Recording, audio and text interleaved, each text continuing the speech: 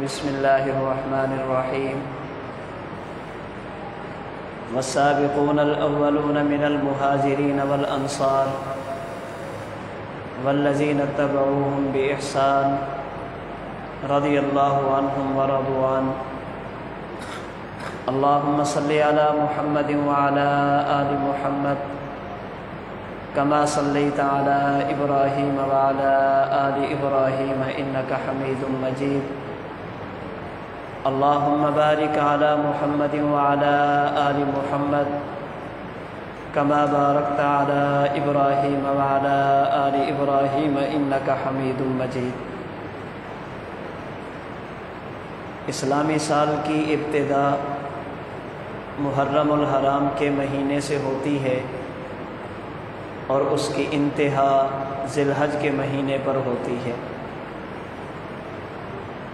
चौदह सौ तैंतालीस हिजरी का आखिरी महीना ज़िलहज चल रहा है, जिसकी आज पंद्रह तारीख़ है।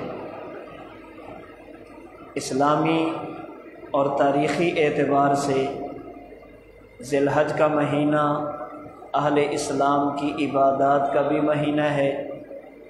और ये महीना अहल इस्लाम की शख्सियात का भी महीना है। इसलिए इस माह मुबारक में उम्मत के उलमा, खुतबा मुबलगिन और वाइजीन वक्ता फ़वक्ता अहल इस्लाम को इस महीने की इबादत के बारे में भी बताते हैं और इस महीने की शख्सियात के बारे में भी बताते हैं। और अल्लाह ने जो हमें दीन अता फ़रमाया, ये महज इबादत का नाम नहीं, बल्कि हमारे दीन में शख्सियात का भी बहुत बड़ा हिस्सा और किरदार है। इस माह मुबारक में जिन शख्सियात का तस्करा किया जाता है, उनमें खलीफ़ सालिस, सहाबी रसूल सैदना उस्मान बिन अफ़ान रदी अल्लाह तहों का नाम तकरीबन सर फहरिस्त होता है। इसी मुनासबत से आज की गुफ्तु में हज़रत उस्मान बिन अफ़ान रज़ी अल्लाह तहों की शख्सियत के हवाले से चंद बातें आपके सामने अर्ज़ करनी हैं। हज़रत उस्मान बिन अफ़ान रज़ी अल्लाह तहों को अल्लाह ताला ने बहुत बड़ा मकाम और मर्तबा अता फ़रमाया है। आपके मकाम और मर्तबा की कई वजूहत हैं। उनमें सबसे पहली वजह, जो सबसे बड़ी वजह बनती है, वो है आपका सहाबी रसूल होना। ईमान की हालत में रसूलुल्लाह सल्लल्लाहु अलैहि वसल्लम से मुलाकात करना और ईमान की हालत में दुनिया से तशरीफ़ ले जाना। अल्लाह के नबी सल्लल्लाहु अलैहि वसल्लम का सहाबी होना, ये बज़ाहिर एक खूबी है। लेकिन अगर थोड़ा सा गौर किया जाए तो ये एक खूबी, कई खूबियों का मजमू है। अल्लाह के नबी का सहाबी होना बज़ाहिर एक कमाल है। लेकिन अगर गौर किया जाए तो ये कई कमालात का मजमू है। जैसे एक शख्स को आपने देखा कि वो आपके इलाका की जामा मस्जिद महमूदा में नमाज़ अदा कर रहा है। बज़ाहिर उसकी नमाज़ से आप ये समझे हैं कि ये नमाजी है। लेकिन आप अगर थोड़ी सी तफसील में जाएँगे तो उसकी नमाज़ से आपको कई बातें समझ आएँगी। अगर वो नमाज़ पढ़ रहा है, इसका माना ये है कि उसने गसल किया हुआ है। उसके नमाज़ पढ़ने का मतलब ये है कि उसने वज़ू भी किया हुआ है। उसके नमाज़ पढ़ने का मतलब ये है, उसके कपड़े पाक हैं। नमाज़ पढ़ने का मतलब ये है उसका जिस्म पाक। है नमाज़ पढ़ने का मतलब ये है, जिस जगह पे नमाज़ पढ़ रहा है, ये जगह भी पाक। है नमाज़ पढ़ने का मतलब ये है, ये मुसलमान भी है जो नमाज़ को फ़र्ज़ मानता है। नमाज़ पढ़ने का माना ये है, ये वक्त नमाज़ का भी है। नमाज़ पढ़ने का मतलब ये है, इसने जिधर मुँह किया है, ये मुँह किबला की तरफ़ करके खड़ा है। अब आपने बज़ाहिर देखा वो नमाज़ पढ़ रहा है, लेकिन उसकी नमाज़ से उसके जिसम का पाक होना, उसके लिबास का पाक होना, उसकी जगह का पाक होना, नमाज़ की फ़र्जियत को मानना, किबले की तरफ़ मुँह करना, ये सारी बातें ख़ुद ब खुद समझ आइए। इसी तरह अगर कोई शख्स जनाब रसूलुल्लाह सल्लल्लाहु अलैहि वसल्लम का सहाबी हो, ये बज़ाहिर एक खूबी है। लेकिन अगर तफसीलात में जाया जाए, कुरान करीम और अहादीस मुबारक को देखा जाए तो सहाबी ये कई कमालत का मजमू है।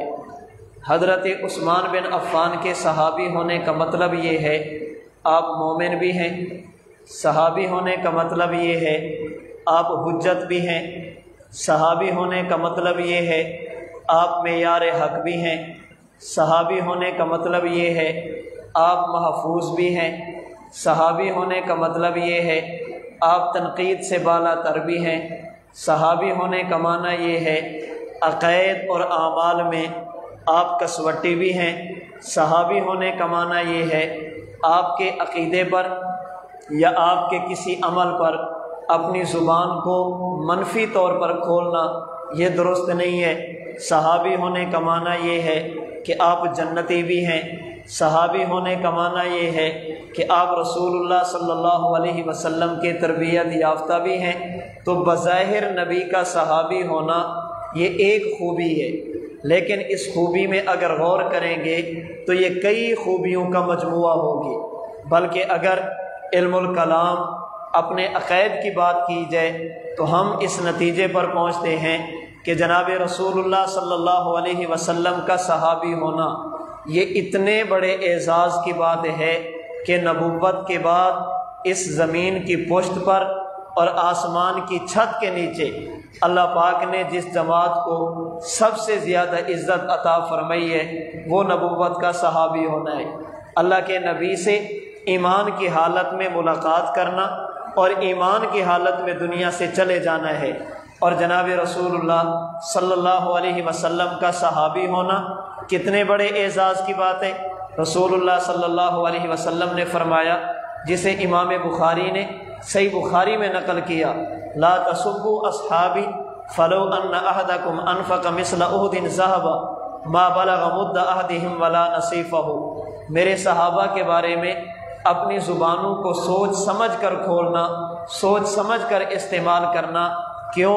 फ़लो अन अहदकुम अनफ़क मिसल उहदिन ज़हबा, मा मुद्द अहदिहिम वला नसीफ़ा।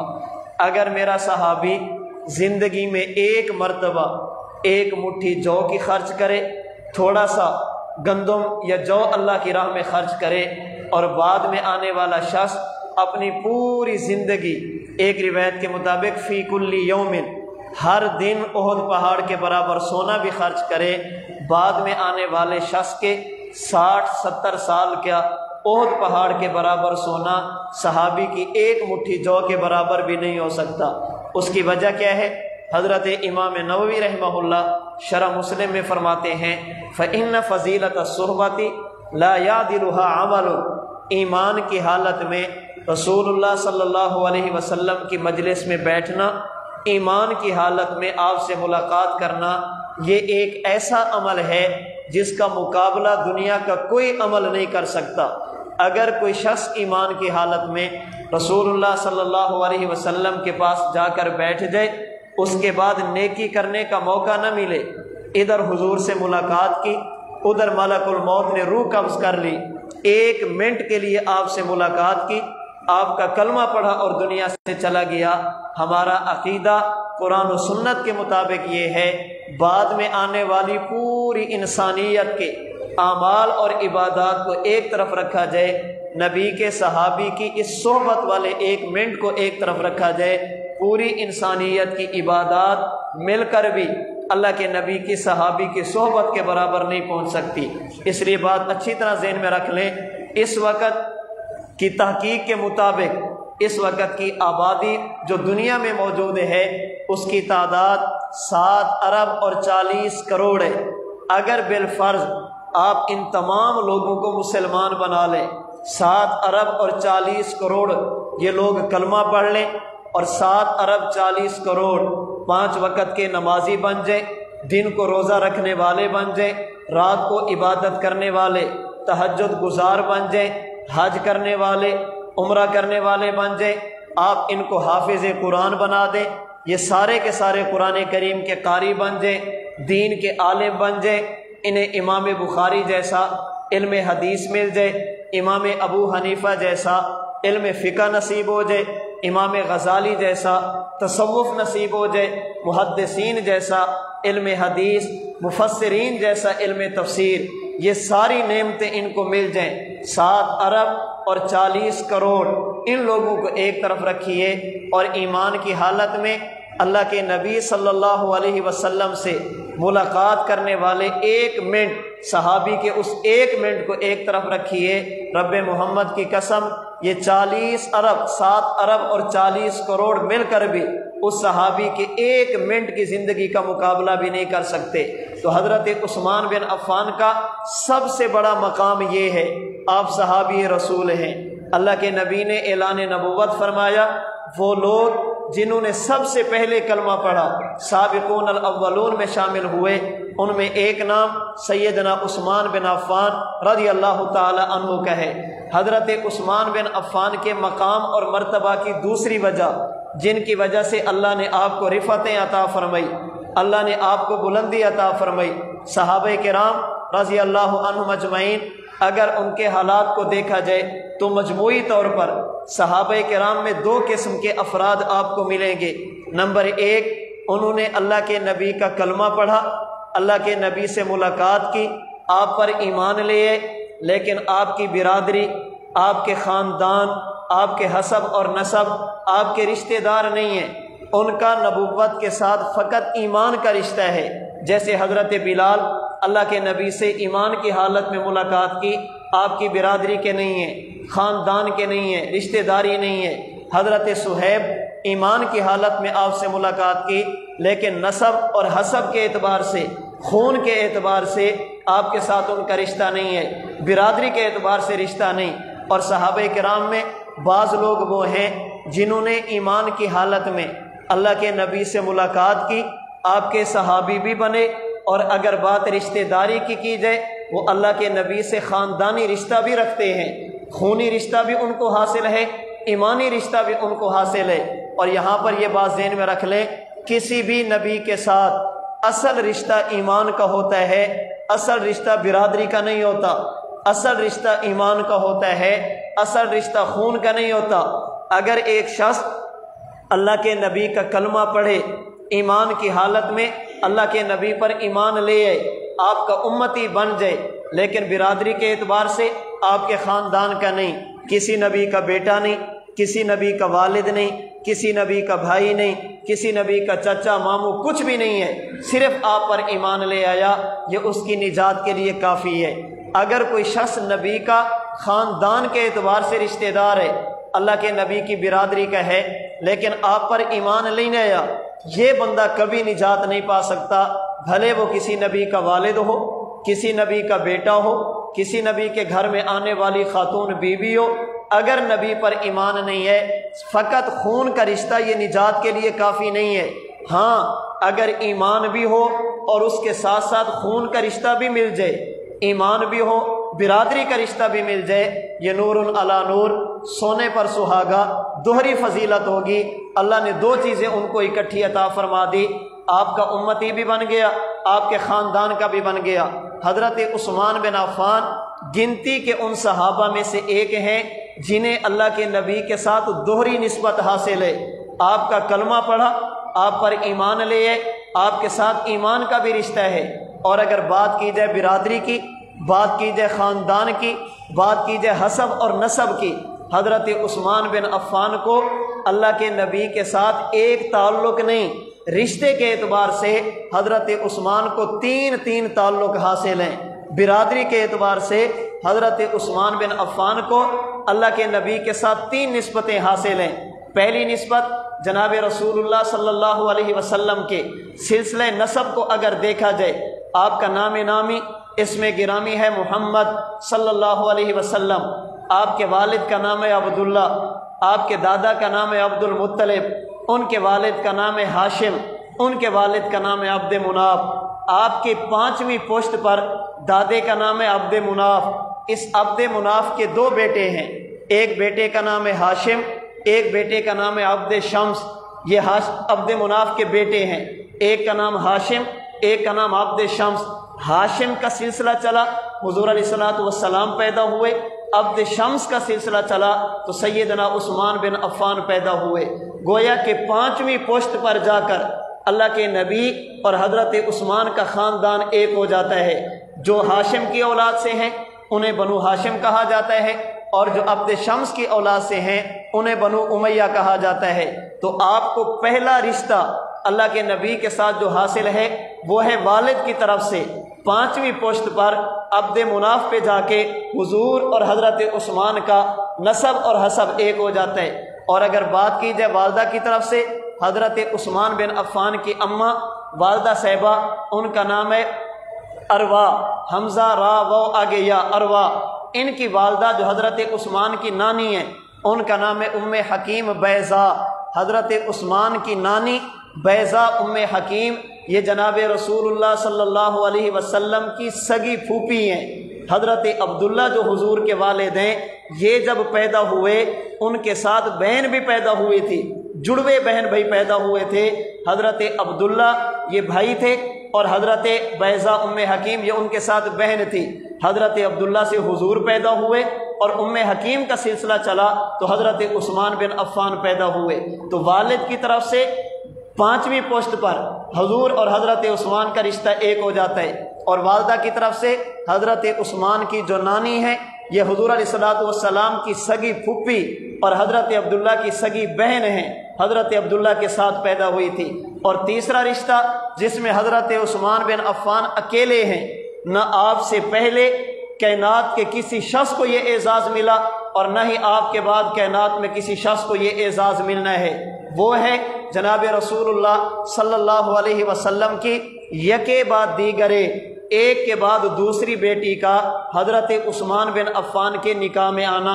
आप सलाम को अल्लाह ने चार बेटियाँ अता फरमाई सैदा जैनब, जिनका निकाह हज़रत अबुल आस से हुआ, हज़रत रुकैया, हज़रत उम कुलसूम। इन दोनों का निकाह हज़रत उस्मान बिन अफ़ान से हुआ और हज़रत फ़ातिमत जहरा, जिनका निकाह शेर खुदा सैदना अलीमरतज़ा से हुआ। आप सलाम ने अपनी पहली बेटी हज़रत रुकैया, हज़रत उस्मान के निकाह में दी।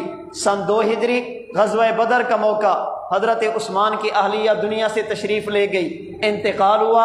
आपने सैदा उम कुलसूम का निकाह हज़रत उस्मान से फरमाया और सन नौ हिजरी में हज़रत उम कुलसूम का भी इंतकाल हुआ।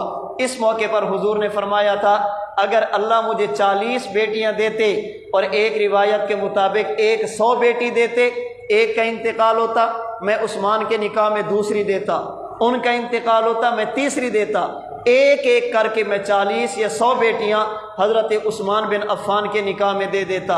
हज़रत उस्मान बिन अफ़ान को ये एजाज़ हासिल है, आपके निकाह में यके बाद दीगरे अल्लाह के नबी की दो बेटियाँ आई हैं। आपसे पहले किसी नबी ने अपनी दो बेटियाँ किसी उम्मती के निकाह में नहीं दी। अल्लाह ने यह एजाज़ फ़कत आपको अता फरमाया। और इस मौके पर एक बात मेरे जहन में आगे अर्ज़ कर दूँ।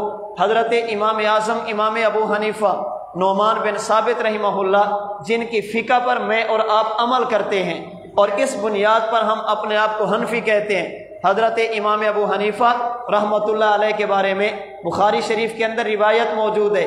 रसूलुल्लाह सल्लल्लाहु ने फरमाया लौकानल ईमान बिसुरैया बाद रिवायात में है लौकान दीन बिसुरैया बाद रिवायात में लौकान इल्म बिसुरैया अगर ईमान अगर दीन, अगर इल्म, सुरैया सितारे तक भी चला गया, आपने हज़रत सलमान फारसी की टांग पर या उनकी पुश्त पर कंधे पर हाथ रख के फरमाया, इसकी नस्ल में एक शख्स आएगा जो दीन को वहाँ से लेकर मेरी उम्मत के हवाले करेगा।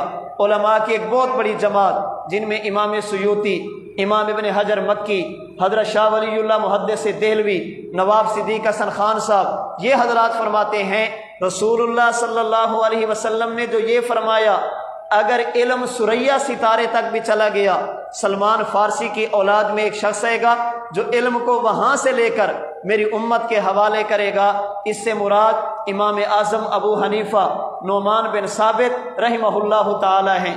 अब सवाल यह है, ये जो हुजूर ने फरमाया, अगर इल्म सुरैया सितारे तक भी चला गया वो शख्स वहाँ से लेकर मेरी उम्मत के हवाले करेगा। इसका मतलब क्या है? उलमा ने कई मतलब बयान किए। उनमें से एक मतलब ये है, हमारे यहाँ अगर किसी चीज़ के बारे में ये बताना हो कि ये चीज़ बहुत कीमती है, हर बंदे के बस में नहीं है। हम मिसाल देते हैं आसमान की। कहते फुला चीज़ की कीमत आसमान पर पहुँच गई। क्या माना? हर बंदा नहीं खरीद सकता। अहले अरब की आदत यह है, अगर किसी चीज़ के बारे में ये बताना हो कि वहाँ तक हर किसी का दिमाग नहीं पहुँचता, हर किसी की अकल वहाँ तक नहीं पहुँचती। तो कहते हैं, फुला चीज़ सुरैया सितारे तक चली गई। इसका माना क्या होता है? हर बंदे की अकल और दिमाग वहाँ तक नहीं पहुँचती, किसी किसी की पहुँचती है। अल्लाह के नबी ने इरशाद फरमाया, अगर इल्म सुरैया सितारे तक भी चला गया, हज़रत सलमान की नस्ल में एक शख्स आएगा जो इल्म को वहाँ से लेकर मेरी उम्मत के हवाले करेगा, इसका मतलब ये है बस बसौकात ऐसे मसैल होंगे जिनको हल करना हर बंदे के बस में नहीं होगा। जहाँ तक किसी का दिमाग नहीं पहुंचेगा, अबू हनीफा का दिमाग वहाँ तक पहुंचेगा। जहाँ तक किसी की अकल नहीं पहुंचेगी, इमाम अबू हनीफा की अकल वहाँ तक पहुंचेगी। इस पर कई एक मिसालें हैं जो बतौर दलील के पेश की जा सकती हैं। इमाम अबू हनीफा रहीमहुल्ला ने कैसी तौर पर अपनी अकल को इस्तेमाल करके मसाइल को हल किया? पहले एक मिसाल अर्ज़ कर देता हूँ, फिर जो बात मैं सुनाने लगा वो सुनाता हूँ। हज़रत इमाम अबू हनीफा नोमान बिन साबित रहीमहुल्ला बैठे हैं। आपके पास एक शख्स आया, जिसकी उम्र चौदह या पंद्रह साल। चढ़ती जवानी, बिल्कुल यंग नौजवान। उसने आकर इमाम साहब से मसला पूछा, हज़रत, मसला बताएँ। एक शख्स ने ईशा की नमाज़ पढ़ी। नमाज़ पढ़ के सो गया। अभी ईशा की नमाज़ का वक्त बाकी था। नींद की हालत में इस बंदे पर गुसल फ़र्ज़ हो गया। इस पर गुसल फ़र्ज़ हो गया। अब ये गुसल करके ईशा की नमाज़ दोबारा पढ़ेगा। या पहले वाली काफ़ी है। इमाम साहब फरमाने लगे, बेटा, ये उठे, गुसल करे और ईशा की नमाज़ दोबारा पढ़े। वो बच्चा खुश होकर इमाम साहब को दुआ देकर चला गया। इमाम साहब के शगिर्दों में ओलमा थे। शगिर्दों में फुकाहा थे, शगिर्दों में दीन को समझने वाले थे। कहने लगे, उस्ताद जी, लगता है आप भूल गए। फरमाने में नहीं भूला। उस्ताद जी, मसला ये है, अगर कोई बंदा इशा पढ़ के सो जाए और रात को गसल फ़र्ज़ हो जाए, नमाज़ का वक़्त बाकी हो तो वो तो नमाज़ नहीं पढ़ता। फरमाया, मैंने आपको तो नहीं कहा कि आप पढ़ो। साजी आपने उसे तो कहा है कि नमाज़ पढ़े। फरमाया कि ये बच्चा जो मेरे पास आया था, ये बच्चा शर्मीला भी बहुत है, बाहया भी बहुत है और जहीन भी बहुत है। इस बच्चे ने जो मुझसे सवाल किया, ये किसी और के बारे में नहीं, इसने अपने बारे में मुझसे पूछा। ये मुझसे पूछना चाहता था कि जब मैंने ईशा की नमाज़ पढ़ी, उस वक़्त में नाबालिग था। उम्र छोटी है, अभी तक मैं बालिग नहीं हुआ था। ईशा पढ़ के रात को सोया, रात बारह बजे, एक बजे मैं बालिग हो गया। मुझ पर गसल फ़र्ज़ हो गया, अब क्या करूँ? फरमाया, मैंने कहा, जब तुमने पढ़ी थी तो तुम पर फ़र्ज़ नहीं थी, और जब फ़र्ज़ हुई है तो नमाज़ का वक्त बाकी है। इसलिए गसल करो और नमाज़ दोबारा पढ़ो। इमाम साहब रहमत ने, हालाँकि उस बच्चे ने कुछ भी नहीं कहा था, इतना कहा था कि इसका हुक्म क्या है, लेकिन इमाम साहब की अकल वहाँ तक पहुँची है, जहाँ तक आपके शगिर्दों में से किसी का दिमाग नहीं पहुँचा। फिर इस मौके पर इमाम साहब फरमाने लगे, कद युफली हाजत सभी इनशा अल्लाह। इस बच्चे की जहानत इस बच्चे का सवाल करना, फिर मेरी बात को समझना, ये मुझे बता रहा है, अल्लाह पाक इस बच्चे से दीन का काम लेंगे। ये बड़ा होकर दीन का बहुत काम करेगा। ये बच्चा घर गया, कुछ दिन गुजरे, अपने वालिद का हाथ पकड़कर इमाम साहब के पास पहुँचे। इमाम साहब, मेरा बेटा है, आपसे दीन पढ़ना चाहते आप इसको दीन पढ़ें, हदीस पढ़ें, फ़िका पढ़ें। इमाम साहब फरमाने लगे, क्या ये बच्चा कुरान करीम का हाफिज है? नहीं, हज़रत, ये कुरान का हाफिज तो नहीं है। फरमाए मेरी दरसगाह में दाखिले की पहली शर्त ये है, मैं दाखिला उसे देता हूँ जो हाफिज हो। आप इसको पहले हाफिज कुरान बने मेरे पास लिए मैं फ़िका भी पढ़ूँगा हदीस भी पढ़ूँगा ये बच्चा चला गया। सात दिन गुजरे, अकेला, बगैर वालिद के इमाम साहब के पास पहुँचा। हज़रत पढ़ने के लिए आया हूँ। पर मैं बेटा वही नहीं है जो सात दिन पहले आए थे। जी, हज़रत वही हूँ। मैंने आपके अब्बा जान से भी कहा था कि पहले हिफ्ज करो, फिर ले करो। पर मैं कि उस्ताद जी, इमाम साहब, मैंने सात दिनों में पूरा कुरान हिफ्ज किया है। आप जहाँ से सुनना चाहें, मैं सुनाने के लिए तैयार हूँ। ये बच्चा फिर इमाम साहब की दरसगाह में बैठा। इसने इमाम साहब से पढ़ा। फिर इमाम साहब के उलूम को लिखा और उम्मत में मुंतकिल किया। एक शख्स गुजरा है, वो ईसाई था। उसका काम क्या है? लोगों को इस्लाम से मुतनफ़िर करना, लोगों को इस्लाम से दूर करना। एक वक्त आया, अल्लाह ने कलमा की दौलत नसीब फरमा दी। किसी ने पूछ लिया, आपके कलमा पढ़ने की वजह क्या बनी? वो कहने लगा, मैंने एक शख्स की किताब पढ़ी है, जिसका नाम है इमाम मोहम्मद बिन हसन शैबानी, जो शगिर्द है इमाम अबू हनीफा का। किताब का नाम है सियर सग़ीर। मैं उस किताब को पढ़ता जाता और मेरे दिल से बेसाख्ता ये जुमले निकलते, हाजा इल्म मोहम्मदिकुमसग़ीर फ़कई फ़िल्म कबीर जिस उम्मत के छोटे मोहम्मद का ये इल्म है उस उम्मत के बड़े मोहम्मद के इल्म कितना होगा इमाम साहब का दिमाग वहाँ तक पहुँचता था जहाँ तक किसी का नहीं पहुँचता था इमाम साहब के दौर में एक शख्स था जो लोगों से कहता था लोगों मैं हज़रत उस्मान को मानता हूँ मैं मानता हूँ वो कुरान के हाफिज़ मैं मानता हूँ वो कुरान के कारी मैं मानता हूँ वो तहजद गुजार मैं मानता हूँ वो शब बेदार मैं मानता हूँ सखावत करने वाले, मैं मानता हूँ वो अल्लाह की राह में शहीद होने वाले, सब कुछ मानता हूँ, लेकिन उनमें एक खामी थी। खामी क्या थी? हज़रत उस्मान बिन अफ़ान ज़ुबान से कलमा पढ़ते थे, दिल में ईमान नहीं था, दिली तौर पर मुसलमान नहीं थे। हज़रत इमाम साहब को बताया गया, आपके समझाने का अंदाज देखें। अल्लाह ने कैसी अकल अता फरमाई थी? आपने उसे बुलाया, फरमाया, मैंने सुना है आपके घर में जवान बेटी है। जी, हज़रत बिल्कुल है। फरमाया मैं मैं आपकी बेटी का एक रिश्ता देख कर आया हूँ। आपकी बेटी का निकाह उसके साथ करना चाहता हूँ। उन्होंने कहा, हज़रत, ये तो मेरी शहादत होगी। मेरी बेटी का रिश्ता आप तय करेंगे। मेरी बेटी का निकाह आप करेंगे। इससे बढ़कर मेरे लिए शहादत क्या होगी? फरमाया पहले ज़रा सुन लो, आपके घर में आने वाला दामाद, आपका बेटा कैसा होगा? हज़रत, नहीं नहीं, मुझे आपके इंतखाब पर एतमाद है। आप गलत इंतखाब तो नहीं करेंगे। फरमाया, फिर भी सुन लो, तुम्हारा होने वाला दामाद कुरान करीम का हाफिज, होने वाला दामाद कुरान करीम का कारी, होने वाला दामाद दीन का आलिम, होने वाला दामाद तहजद गुजार, नेक, कभी ज़ुबान से किसी को तकलीफ़ नहीं दी, पूरा मोहल्ला उस पर खुश है। उन्होंने कहा, हज़रत, अगर ऐसा दामाद मिल जाए, ये तो दुनिया में मेरी बेटी को जन्नत मिल जाएगी। इतना सुकून वाली ज़िंदगी मिल जाएगी। फरमाया हाँ अलबत् उसमें एक खामी है। वो क्या? फरमाया कि जहरी तौर पर कलमा पड़ता है, लेकिन दिल में ईमान नहीं है। कहा, हज़रत, ऐसी खूबी को क्या करूँगा जिसके दिल में ईमान ना हो? अपनी बेटी उसके निकाह में क्यों दूँगा? फरमाया, जालिम, फिर कुछ शर्म कर, कुछ हया कर। आज तुझे मेरे इंतखाब पर एतमाद है। नबुवत की बेटी का इंतखाब नबुवत नहीं करती।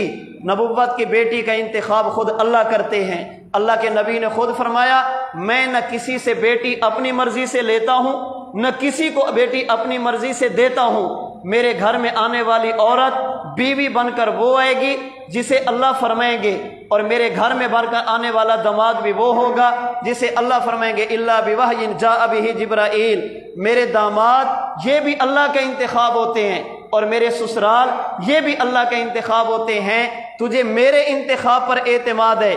नबुवत की बेटी के लिए खुदा के इंतखाब पर एतमाद नहीं है। फिर अगली बात फरमाए कि तू मेरे कहने पर किसी ऐसे बंदे को एक बेटी देने के लिए तैयार नहीं, जिसके दिल में ईमान ना हो। अल्लाह के नबी ने ऐसे शख्स को दो बेटियाँ कैसे दे दी? जिसके दिल में ईमान नहीं था, फिर फ़कत दो दी नहीं दूसरी के इंतकाल पर फरमाया, अगर खुदा मुझ मोहम्मद को एक सौ बेटियाँ देता, मैं एक एक करके उस्मान के निकाह में दे देता। तो एक देने के लिए तैयार नहीं, नबी सौ देने के लिए तैयार है। तू एक देने के लिए तैयार नहीं, अल्लाह के नबी यके बाद दी करे कई देने के लिए तैयार हैं। उसने कहा, हज़रत, मुझे समझ आ गई, अल्लाह के लिए मुझे माफ़ कर दें। मैं तोबा करता हूँ, आज के बाद सहाबा के बारे में ऐसी बात नहीं करूँगा। तो अर्ज़ में ये कर रहा था, सहाबा में दो किस्म के अफराद हैं। नंबर एक, जिन्होंने फ़कत नबी का कलमा पढ़ा, नबी के ख़ानदान के नहीं। नंबर दो, जिन्होंने कलमा पढ़ा और नबी के साथ खून का भी रिश्ता बिरादरी का भी रिश्ता, घर का भी रिश्ता, हज़रत उस्मान बिन अफ़ान, उन खुश नसीब सहाबा में से हैं। ईमान की हालत में आपके कलमा पढ़ा, आपके सहाबी बने, ईमान की हालत में ईमान का रिश्ता जोड़ा, और अगर बात रिश्ते की की जाए, वालिद की तरफ़ से जाओगे, अब्द मुनाफ पे जाकर हुजूर और उस्मान एक हैं। अगर वालदा की तरफ़ से जाओगे, हज़रत उस्मान की नानी, अल्लाह के नबी की सगी फूफी बनती हैं। और अगर रिश्ता देखा जाए दमादी वाला, अल्लाह के नबी ने अपनी दो बेटियाँ हज़रत उस्मान के निकाह में दी हैं। हज़रत उस्मान के मकाम की तीसरी वजह आपकी ज़िंदगी है। आपकी ज़िंदगी में कई चीज़ें हैं।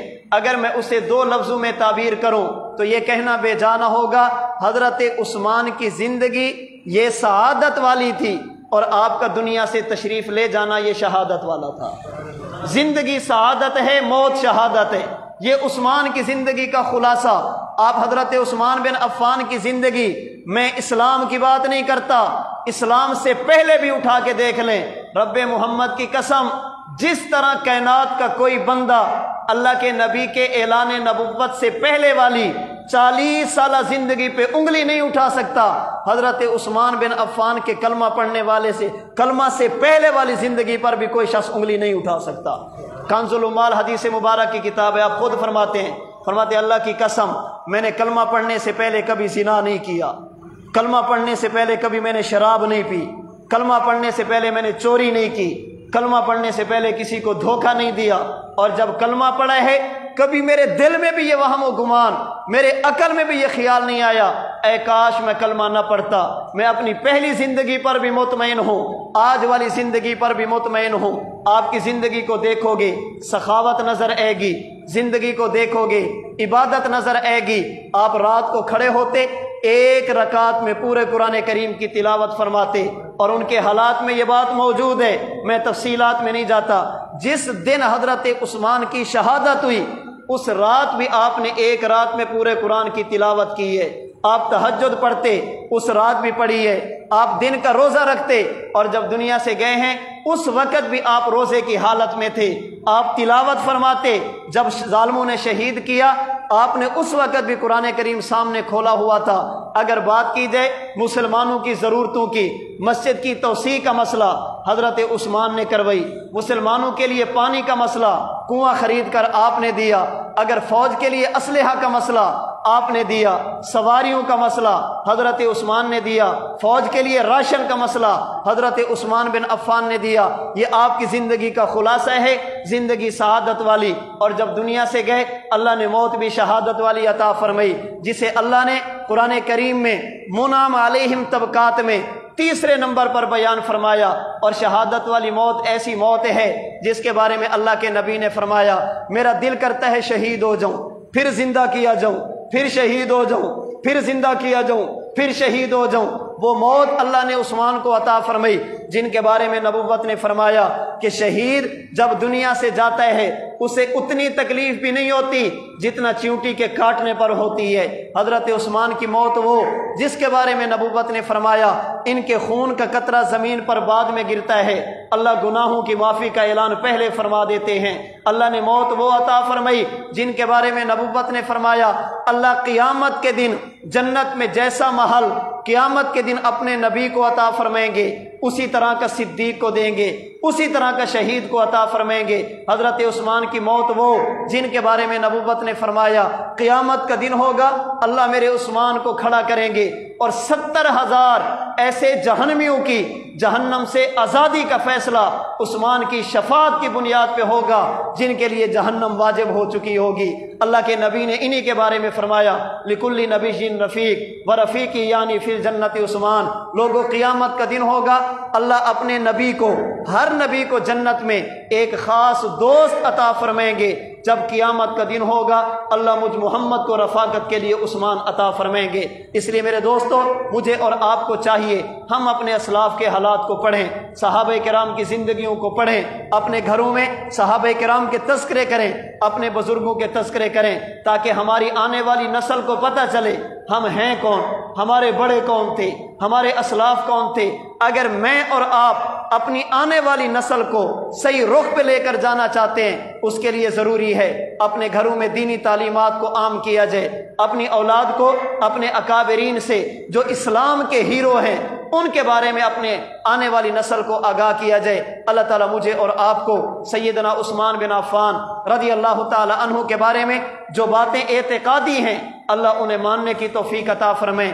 दीन का जो दर्द दीन का जो जज्बा, दीन पर अमल करने के जो एक अल्लाह पाक ने शौक हज़रत उस्मान को अता फरमाया था, अल्लाह उसका कुछ ना कुछ हिस्सा मुझे और आपको अता फरमा दे। हज़रत उस्मान बिन अफ़ान की तरह अल्लाह ताला मुझे और आपको शहादत वाली ज़िंदगी, शहादत वाली मौत अता फरमाए। व आखिर दावाना अनिलहमदिल्ला रबालमीन सुन्नत अदा फरमा।